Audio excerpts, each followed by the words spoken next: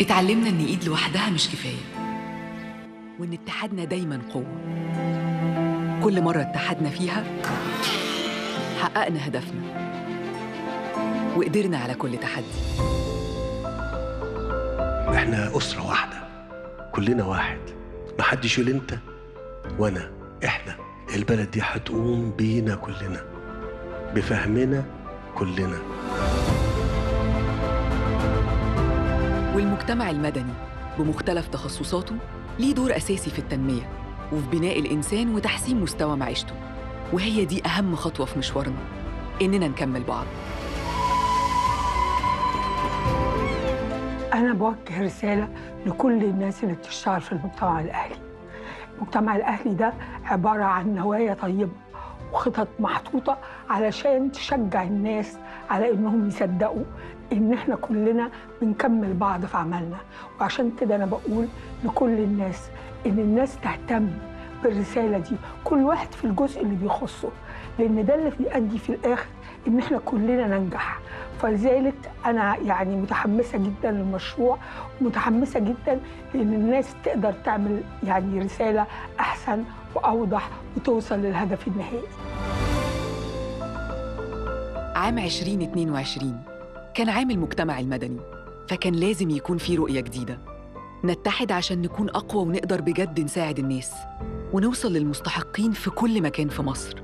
ومن هنا اتحقق الحلم التحالف الوطني للعمل الأهلي التنموي أكتر من 30 مؤسسة مجتمع مدني قرروا إنهم يتحدوا ويكملوا بعض.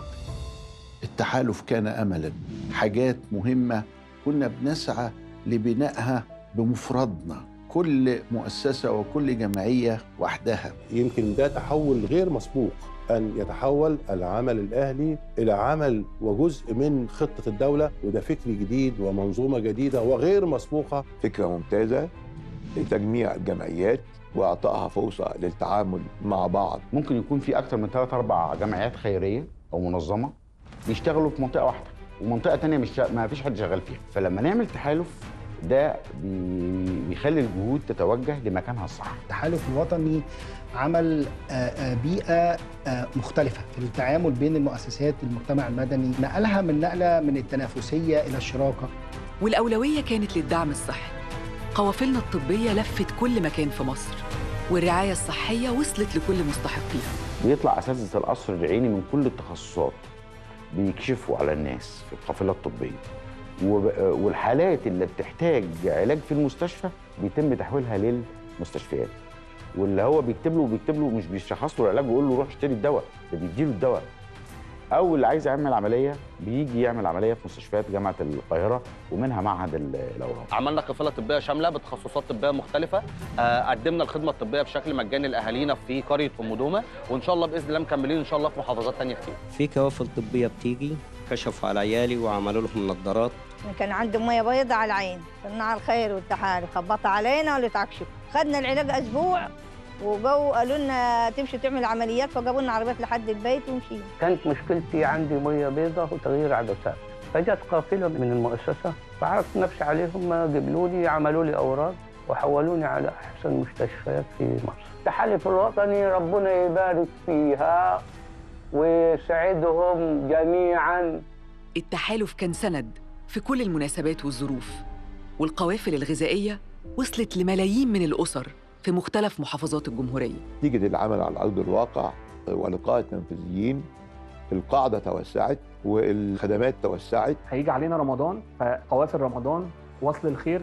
قلنا خلاص هنشتغل مع بعض. أنتوا شفتوا موضوع القوافل اللي قد إيه كانت جميلة وقد إيه كانت بتدخل قلوب الناس. علمني الصيد ولا تعطيني سمكة. أنا قدمت على شغل مع صناع الخير. كان عندي البيت ما فيهوش حتى سقف. ولا في سباكة ولا في كهرباء ولا في أي حاجة. وقعدنا كده طول الصيف وطول الشتاء أكتر من سنة أو سنتين وإحنا كده كنت تعبان بالغضروف. كنتش بقدر أشتغل ولا أقدر أوكل أولادي ولا كده. عندهم خبر ان أنا راجل يعني ذو احتياج وما عنديش دخل.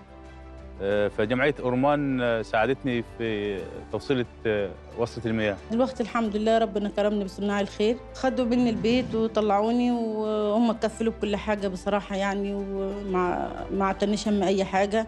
واستلمت منهم البيت على هذا الوضع. قدرت تطلعني من اللي أنا كنت فيه وبقيت أنا في المكانه دي دلوقتي. أنا ذات نفسي مش مصدقة خالص. أنا بالصدفة كنت قاعدة بتفرج على التلفزيون ولقيت رقم شفتهم عاملين بيوت زي بيتي كده واتصلت بيهم وقلت لهم إن أنا مطلقة وعندي ولدين والبيت بتاعي ما فيهوش سقف وعايزة سقف بس. حتى لو تعملوا لي تحبكوا لي أوضة بس تحبكوا لي خشب حتى. فبالفعل بعدها بأسبوع حد جاني وصور البيت قلت لهم ليه؟ قالوا إحنا هنصب لك البيت. فبصراحة ما كنتش مصدقة خالص. بعدها بيومين بالظبط نزلوا لي الخشب وصبوا لي البيت. شطبوه محارة وكهرباء وسباكة وسيراميك ونقاشة وحاجات أنا ما كنتش متخيلها ومش متوقعها أصلا. لما جم فتحوا الورشة دي بصيت لقيتهم خبطوا على بابي وقالوا لي تعالي اشتغلي. أنا ما كانش فيه مصدر رزق الأول خالص. فبصراحة لما اشتغلت وفرت معايا كتير وكويسه عرفت التحالف إن هي بتعمل حاجات كتير للناس. فجيت اتواصلت معاهم لحد ما وصلت لهم وكلمتهم. قلت لهم أنا تعبان ما بقدرش أشتغل. فهم ساعدوني وجابوني التريسيكل. أنا كانت مشكلتي إن الحياة كانت صعبة شوية وجوزي كان ساب الشغل ورجع يشتغل شغلانة يعني بسيطة ومرتبه يعني بسيط. فأنا جيت هنا المؤسسة اتعلمت الخياطة واشتغلت بقيت أساعد جوزي بيها؟ زودنا الدعم للأسر الأكثر احتياجاً وقدمنا معاشات شهرية ل 600 ألف أسرة. وختام سنة 2022 كان قوافل ستر وعافية. ظهرت قوافل ستر وعافية اللي هي كانت مرحلة أو تغير نوعي في الشغل. نقعد مثلا ثلاث أربع أيام نجهز. وبعدين الشباب خلاص جهزوا كل الإمكانيات من مواد تموينية من ملابس من بطاطين من أدوية. من لعب أطفال إحنا عملنا ما شاء الله فترة قليلة جدا آه، 16 قافلة إحنا بدأناها بسوهاج. ونهيناها برضو بسوهاج وفي الوسط بقى رحنا الإسماعيلية ورحنا المنوفية ورحنا الشرقية ورحنا الجيزة ومع بداية عام جديد نقدر نقول إن نجاح التحالف اترجم لعدد كبير من المستحقين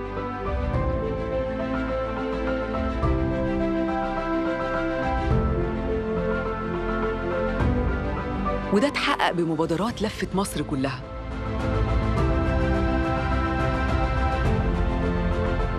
ودينا البطاطين واللحفة والكلام ده كله في رمضان الشنط بتاعت رمضان في العيد اللحوم من ضمن القوافل وزعنا حلاوة آه، المولد. الناس الحقيقة اتبسطت.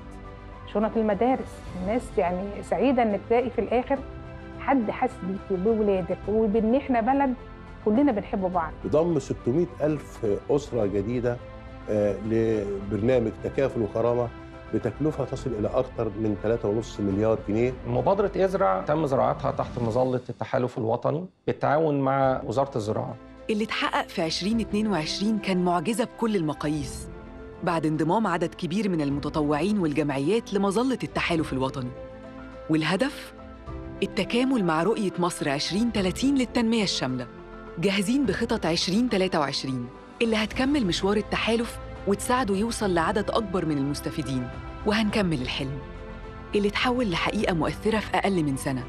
نوصل لكل أهالينا. ما نسيبش مصري محتاج مساعدة. مدعومين بقوة مؤسساتنا. وحماس متطوعين في كل مكان على أرض مصر. وبدفعة رموز العمل الخيري اللي دعمونا في بداية مشوارنا وبنهدي نجاحنا ليهم. الدكتورة أنيسة حسونة. الشريكة المؤسسة في التحالف الوطني. اللي رغم فراقها لينا لكن الطاقة اللي سابتها لنا في التحالف لسه بتقوينا وبتفكرنا برسالتها. هو إحنا هدفنا إيه في الآخر؟ غير إن المجتمع المدني يبقى بيتعاطف مع بعضه البعض يبقى بيتكامل مع بعضه البعض وبيحقق الحاجات اللي إحنا منتظرينها مش أكتر من كده. فأنا رأيي ده مشروع رائع إن شاء الله هيجيب نتائج كويسة جدا.